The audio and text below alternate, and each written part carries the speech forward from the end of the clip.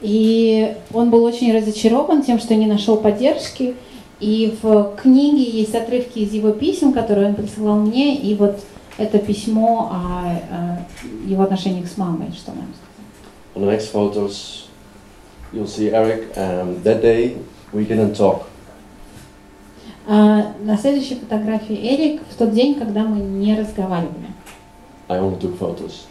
Я только его снимал, And, um, well, it's clear that he was very depressed. Um, also, that day, I took the next photo. And, oh, sorry. и я, он был явно все еще в сильной депрессии. Вот на следующий день, когда я сделала следующую фотографию, Maybe you have noticed, but my project is really about the emotions of Eric and not so much about the body. А, и, как вы, наверное, уже заметили, мой проект And I'm very offended at those questions, so I decided not to show too much information to please the people with that kind of questions. Быть и есть причина, почему именно из- почему я оставляю внимание именно на эмоциях. А, каждый раз, когда я рассказываю об этом проекте, люди начинают спрашивать, а, есть у него пенис или осталась ли у него грудь.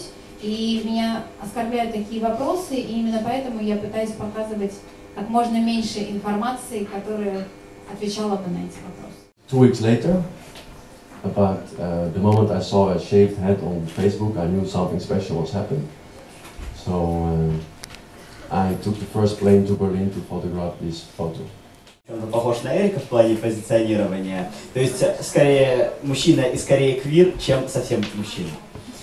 Тем не менее, ну вот я пишу последние несколько лет с переменным успехом, я не публикуюсь, ну, по крайней мере, на бумаге. Но, тем не менее, пос- уже, наверное, лет 10 я нахожу выражение в виде текста, тех или иных видов текстов. И очень часто я слышу очень характерный вопрос, который звучит, но мы абсолютно не можем представить, на что это похоже.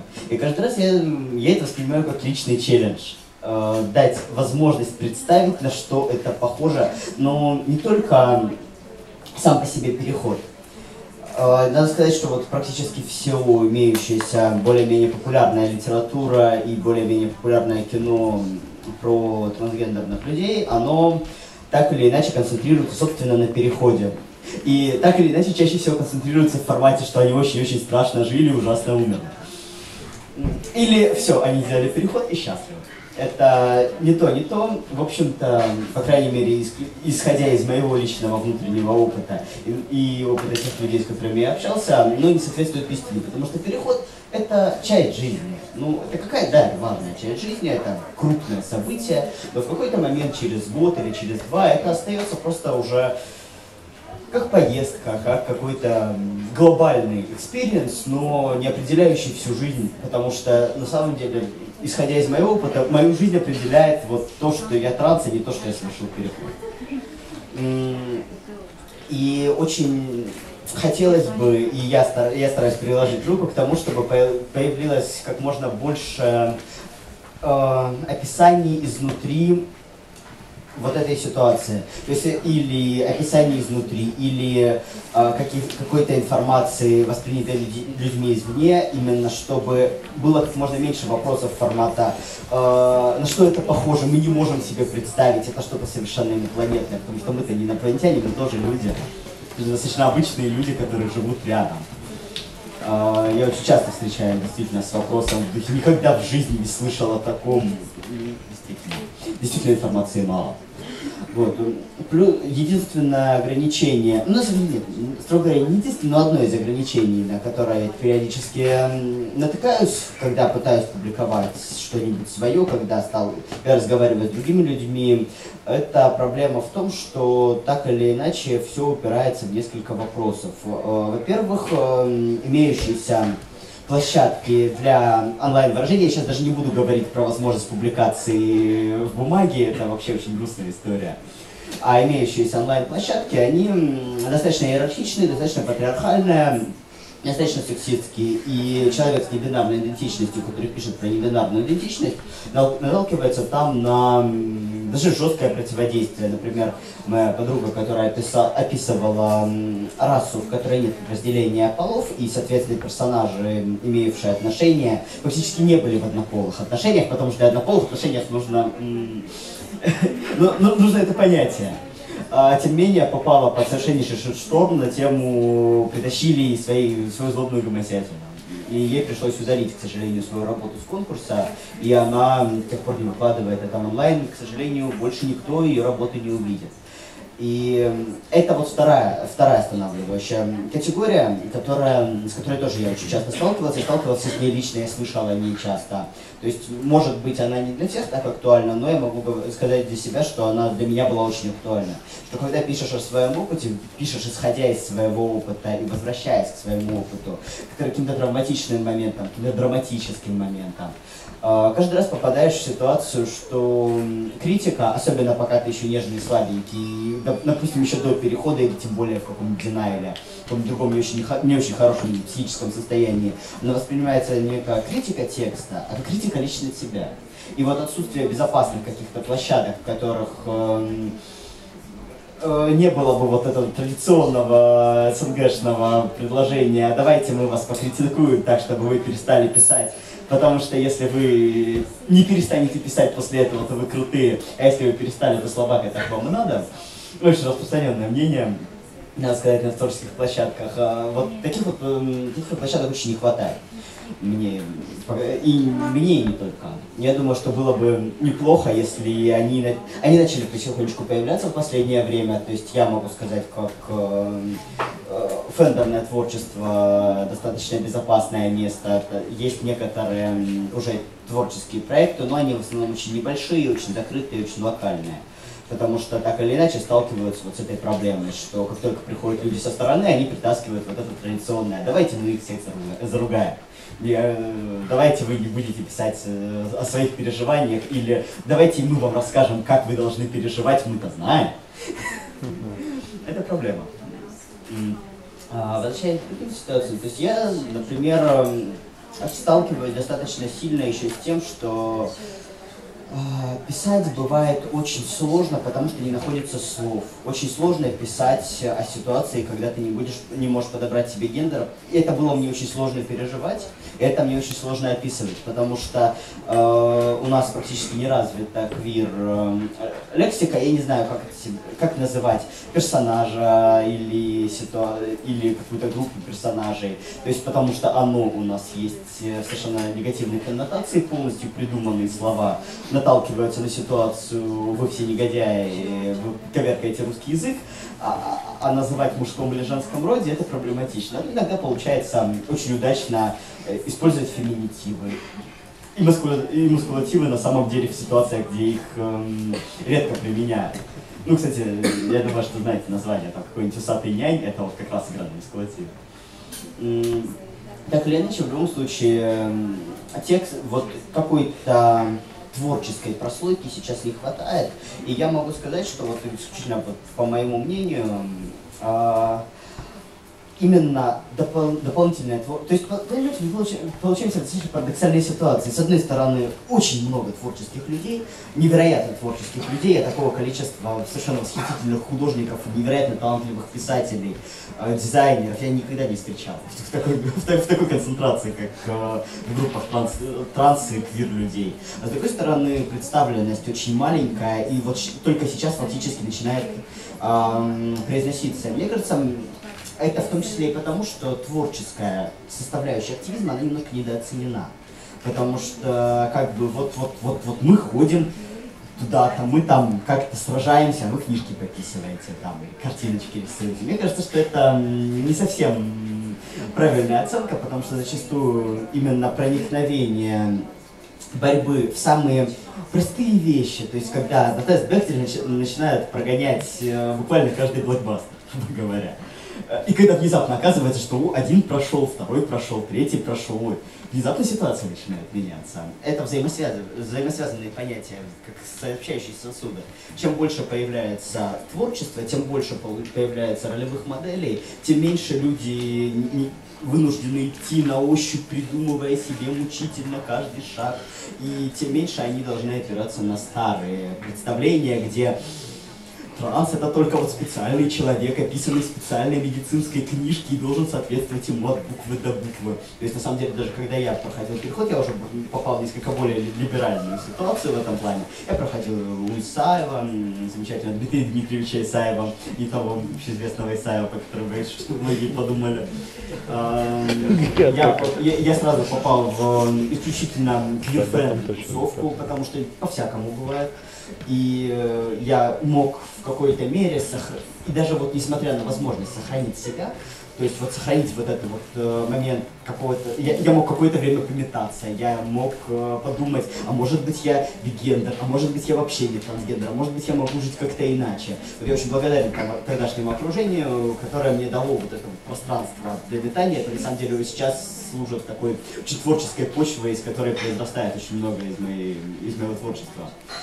Так вот, а, тем не менее, многие люди не, не имеют вот такого замечательного, такой замечательной привилегии, такого замечательного преимущества и вынуждены, с одной стороны, строить себя по представлениям из там парни не плачут, ты по самым-самым-самым замшелым гендерным стереотипам. То есть, если ты мужик, ты должен быть вонюч, могуч, волосат, качаться, обязательно никаких эмоций, отключить всю эмпатию, ни в коем случае ни намека на женскую одежду и так далее. Даже меня это зацепило, вот, в том, что э, как я уже говорил, мне очень повезло с этой ситуацией, от меня этого никто не требовал, но это вот изнутри все равно очень сильно лезло.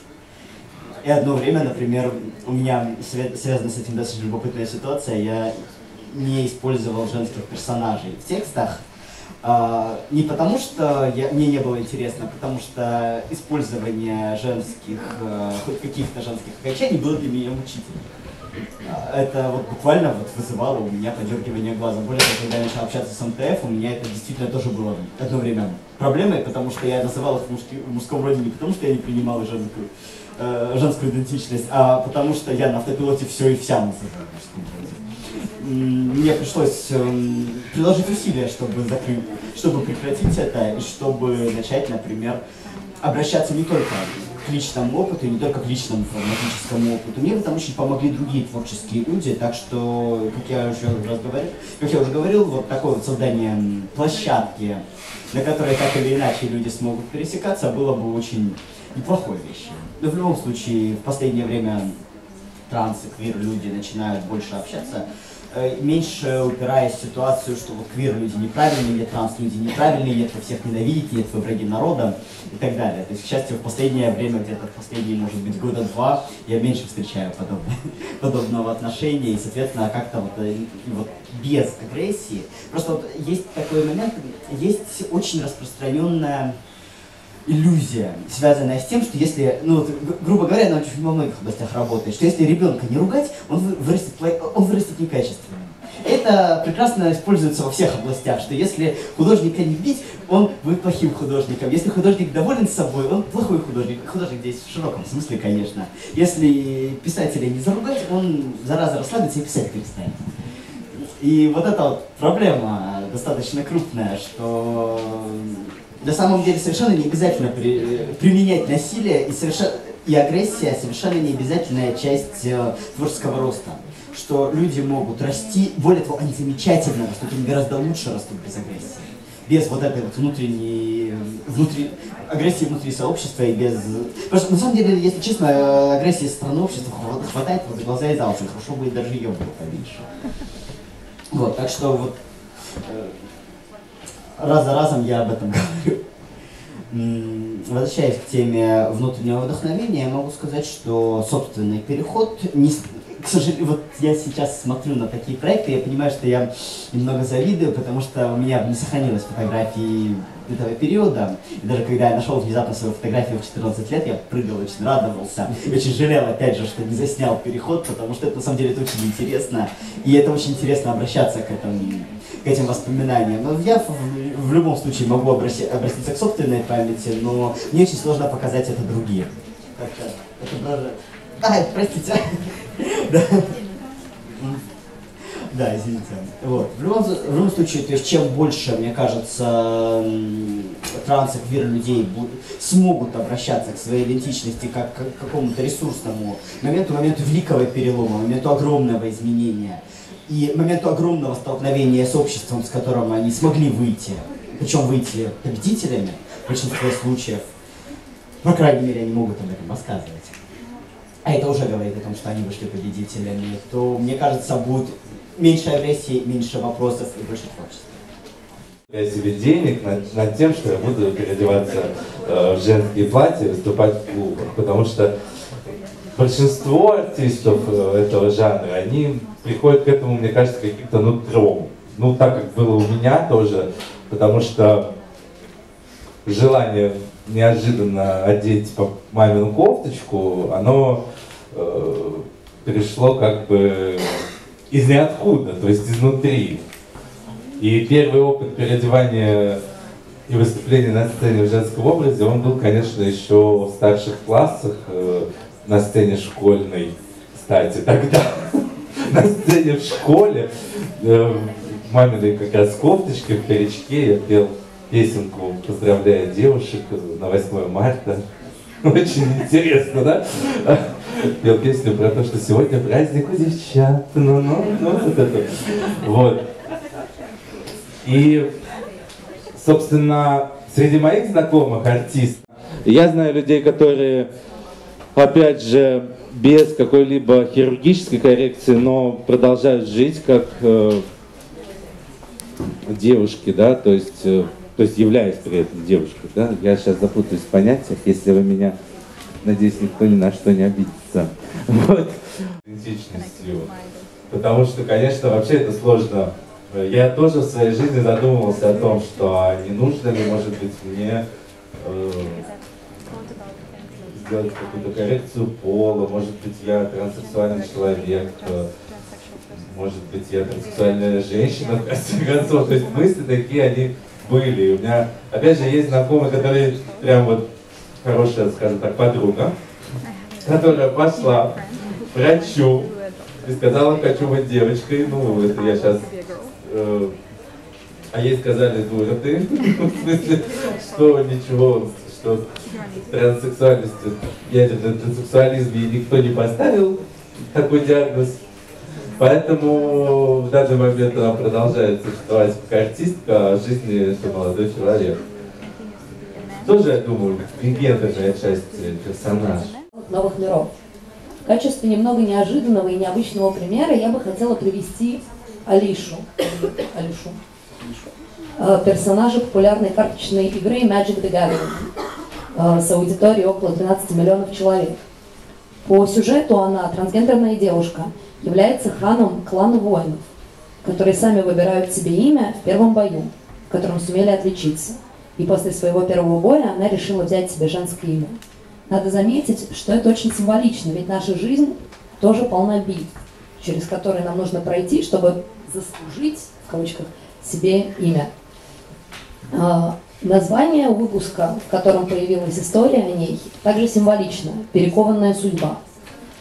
Появление подобного персонажа и других подобных персонажей говорит о том, что создатели игр выбрали стратегию инклюзивности.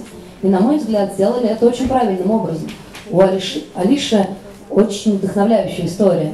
Она сражалась с драконами. Она не является эпизодическим персонажем, ей посвящен отдельный рассказ на официальном сайте. А ее, транс...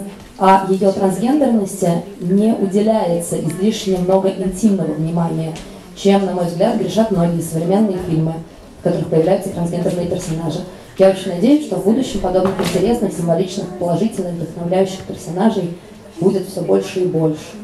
Вот такое высказывание от Дианы, и мне хотелось бы в продолжении нашей дискуссии попросить Илару, также бигендерного человека, э, рассказать о своем творческом опыте. Еще я бисексуалка, но это тоже не все. Например, в проекте Сара Драгон где нужно было написать три э, слова про свою гендерную сексуальную идентичность, я писал себя как гея, потому что вот когда я в мужском, в мужском варианте себя, для меня очень важны отношения как раз с мужчинами, а когда в женском, то я скорее бисексуалка, поэтому я бигендер, бисексуалка.